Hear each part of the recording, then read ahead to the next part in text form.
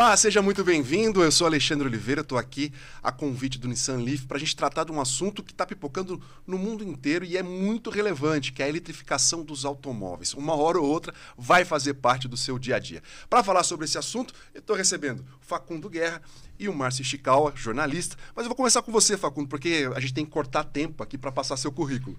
Que é CEO do Grupo Vegas, também conhecido por ser um empreendedor serial com mais de 20 negócios de sucesso. Foi eleito um dos empreendedores mais influentes do planeta e a gente não pode esquecer que é embaixador do Nissan Leaf, né, um carro 100% elétrico. E também escritor, né? E livros, pai. E pai, que é muito importante. Que é muito importante. Como é que é o nome da menina? Pina, tem nove anos. Nove anos. Ela dá muito trabalho, ela já quer um carro elétrico. Ela não, ela é a pessoa mais incrível que eu conheço, mas eu também sou suspeito pra falar É, sobre isso. Todo, todo pai é babão e coruja. Márcio, tudo bem? Tudo bem, Seja Ale? muito bem-vindo. Pai também, né? Pai também, Vinícius e Sofia.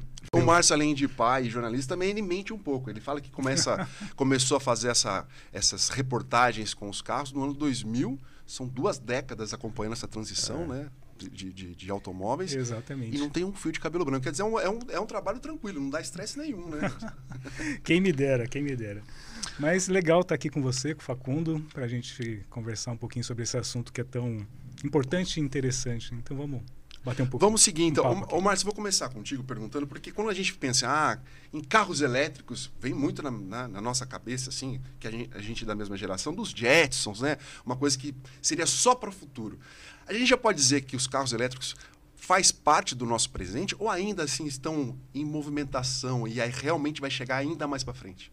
Olha, Ale, você pensando do ponto de vista global, já está no presente. Né? Para você ter uma ideia, tem muitos lugares no mundo em que eh, já tem uma data marcada para encerrar a, a venda de carros ele- eh, a combustão. Por exemplo, na Noruega. Em 2025, você não vai conseguir mais comprar um carro ah, com motor a combustão lá. Na verdade, lá acho que 2023 você já não vai mais ter. Né? Eles vão conseguir antecipar essa meta. É, a União Europeia, se não me engano, está pensando isso para 2035, reunido 2030. Então é uma coisa que já está aí, né, na nossa porta. E claro que os países têm alguma diferença, né, de, de, ah, do potencial econômico. Então isso acaba ah, gerando essa diferença, mas uma hora ou outra isso vai chegar aqui também, Não. né? Não, não tem dúvida. Você sabe que eu parto do pressuposto que não existe futuro, né? Ele é parido e operado aqui no presente. A gente Ah, faz exato, o futuro aqui. Ah. E é muito. E eu me ligo muito na cultura na hora de abrir um negócio meu e eu, eu fico lendo muito sites muito sobre tecnologia e tudo mais. E é, e é in- interessante como a gente percebe que 2021, 2022 foram os anos em que o carro elétrico ele sai do campo de uma promessa e ele começa a decantar para o presente inevitável. Então a gente já- agora que ele antes a gente falava ah, carro elétrico autônomo, isso tudo fica no campo do futuro, do futuro nossas, dos nossos filhos. Uhum. E acho que agora no campo cultural ele começou a decantar, não, não, ah, tá acontecendo e tá acontecendo agora. Para você que é jornalista deve ser muito interessante ver esse, essa mudança de paradigma, né, da Sim. combustão para eletricidade. Sim, porque no- nos anos 2000 ali, quando eu comecei, você não falava sobre isso. Era um negócio experimental, tinha Sim. alguma uma outra experiência. eh, e muito rapidamente isso começou a entrar no, no cerne ali da, da indústria e hoje né, você vê todas as marcas, a maioria das marcas comprometidas como a Nissan, né? Sim. Você pode falar sobre isso. E é muito também, até no campo cultural, porque eu acho muito importante antes da gente pensar sobre alguma coisa, onde que ele está inserido no campo da cultura. Você começa a ver essa transformação de um objeto, como o carro, para um gadget, porque ele entra, ele já é um gadget tecnológico, né? Uhum. Ele já entra, e você começa a se comportar como se ele fosse, por exemplo, o teu celular. Ele não está no campo ainda jamais do, do- Sim. é, ele está no campo do computador, do gadget, da, tecno, da ultra tecnologia, que não é mais aquela coisa mecânica, suja, cheia de óleo, que estoura, que tem mangueira, que, enfim, que parece, sei lá, metrópolis. É. Aí ele está até- entrando no campo do Até pensando mesmo. nisso, né? Hoje em dia as, as oficinas, as oficinas mecânicas são muito limpas, né? Não existe Sim. mais É. Com os carros elétricos ainda a tendência é ficar muito mais rápido, é, mais limpas ainda. O, o Márcio tocou no assunto que ele fala, né? De, dependendo do país, é, tem uma, uma regra a ser seguida, vai, a chegada do, do- do carro elétrico vai ser mais rápida ou de uma forma diferente, mas tem a ver com, a, com o comprometimento, comprometimento da empresa também, né? De pensar e agilizar esse processo, não? Sim. Hoje em dia, por exemplo, o Nissan Leaf é o flagship da Nissan, né? Então a gente sabe que é o comprometimento da gente entender que é, a gente, obviamente, ainda vai ter um, um, período de transição, não sei se 10 anos, 15 anos talvez, mas agora as empresas estão entendendo, não, os nossos novos, a, a, a peça mais importante do nosso portfólio de produtos é elétrico e a gente está investindo nesse futuro, a gente está investindo nessa transição. Ela vai acontecer, seja por determinação de, é, enfim, da legislação dos países, é. ou porque a aceleração das próprias empresas que não vão esperar que os países eles no final das contas determinem quando que seu portfólio de produtos vai ter que mudar ou não. E é o que eu estava dizendo. É, eu tive o meu primeiro contato com um carro elétrico recentemente, até a convite da Nissan. E eu pensei que ia ser uma grande transformação na sua vida, sabe? Que você tem que acolchoar a sua vida, que você tem que transformar alguma coisa na tua vida para você fazer essa mudança. Como foi, por exemplo, a transformação do telefone fixo para o telefone celular. Uhum. Você tinha que se carregar. Você tem que se preocupar, mudar o seu dia a dia. E a transição foi muito tranquila. Foi muito tranquila. Assim, eu não tive que mudar absolutamente nada do que eu fazia quando uh, comecei a me transportar, quando eletrifiquei minha, o meu transporte. Oh, muito, muito legal. E, é, o, o, o Leaf está na segunda geração, né? Chegou no Brasil em 2019. E isso passa por um processo também, né, Márcio? Assim, de, de identificação, de mudanças, para também atender a isso, né? E, é, é, afetar o menos possível no dia a dia das pessoas, né? Sim, sim. E a segunda geração do, do Leaf, se você comparar com a primeira, que, se não me engano, é de 2010, uh, eh, ele, ele teve um acréscimo ali de tecnologia que, que é impressionante. Tem um, um eu não estou falando da, da parte nem da parte de propulsão elétrica, estou falando ali da parte de sistemas de segurança, principalmente, conforto para o é, motorista e para os passageiros. Né? Acho que você pode falar um pouquinho disso também. É, assim, detalhes. Eu não sou um cara que se liga muito, né, no, com carro, com, enquanto um veículo, mas assim, você vai percebendo coisas do tipo o sound system que é uma coisa que você realmente, normalmente nós homens, né, quando a gente pega um carro, que a primeira coisa que pelo menos eu fazia era dar um upgrade no sound system. Eu não precisei. Eu falei, uau, é ótimo desse jeito. É, sei lá, questões de segurança, como aquela câmera que você consegue ver de cima, como se você estivesse sendo sobrevoado por um drone, para você conseguir ver todos todo o seu entorno na hora de. Uma câmera 360. É, é que, você, que você fica olhando e fala, nossa, parece feitiçaria, porque não dá para entender como é que o, o carro consegue essa perspectiva 360, né? Como que as câmeras conseguem isso. O e-pedal, que é aquela coisa de você não ter que ficar mais usando o freio na hora de dirigir dentro da cidade, você vai, você só precisa de um pedal, só do pedal de acelerador. É como se você tivesse com tivesse numa pista o, de. Autorama, né? No autorama. Exatamente. Exatamente. Exatamente. Vira um autorama. Até quando você vai mudar de faixa, por exemplo, e ele te avisa quando você está mudando de faixa, ou se você está com. Se você está fadigado, ele te avisa também a maneira. Enfim, é um carro. A, a grande mudança que eu senti foi a ausência de barulho. Isso realmente é meio Impactante, estranho. Né? Isso é isso estranho. Essa é a parte estranha. De você pegar e, e, e andar em silêncio. Andar em absoluto silêncio. E o torque. A gente também, dentro do Brasil, a gente tem uma cultura né, sobre carro. Carro é um, é um ente na família. Eu me lembro que quando eu era moleque, meu pai comprou um Passat, foi o primeiro carro que ele comprou. E eu me lembro da gente tirar fotos com o carro que tinha chegado. Lembra? Todos nós temos uma foto com o nosso carro. Era um orgulho da família, era, um, era um, quase um membro da é família. É uma, é uma coisa que continua atual, dar nomes para os carros. Sim, total.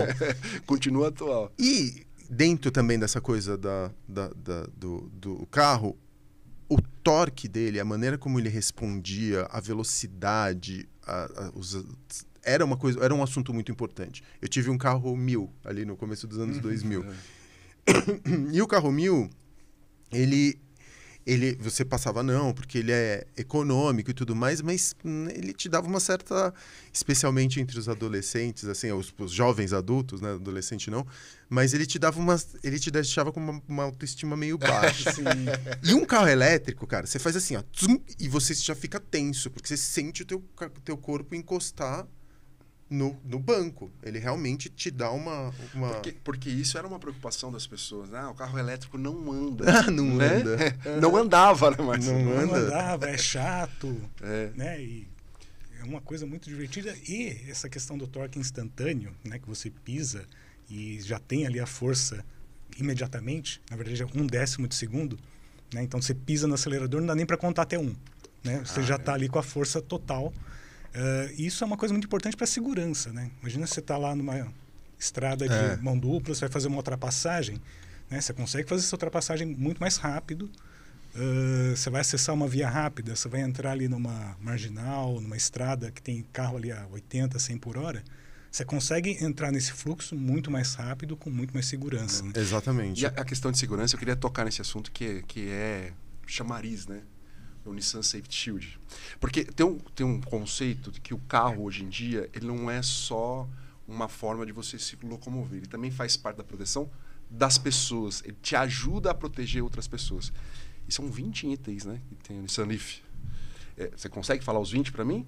Hã? Vou te, 20 vou não, te, vou precisar de vou te provocar. Cola, vou te provocar. uma cola aqui, porque no final das contas é muito porque, item. Porque, assim, quanto a gente está falando de futuro, né? É, preocupação com a família, o carro faz parte da família. Eu acho que essa questão de segurança que amplia-se cada vez mais, né? A cada nova geração, é um fator que acaba sendo agregador, né? Para a gente adquirir um é, carro.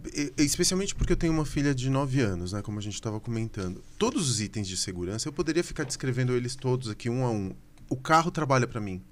É o contrário, entendeu? É, ele, ele é transparente. Eu não tô eu não tô o tempo inteiro pensando assim, nossa, é, eu preciso ligar tal item ou eu preciso usar tal dispositivo. É o carro que está, no final das contas, criando uma bolha de proteção em torno da família, sabe? Então, eu acho que a segurança, na verdade, ela acaba virando um assunto quando você não precisa pensar em segurança. Porque alguém pensou por você, exatamente, sabe? Exatamente. Então, eu, eu entro no Nissan, diferentemente também dos outros carros, eu entro no Leaf e eu paro de, de me perguntar o assunto dirigir, ele começa a ficar cada vez mais. Não é uma questão, sabe? É, tem tem uma, uma redoma em torno de você, tecnológica.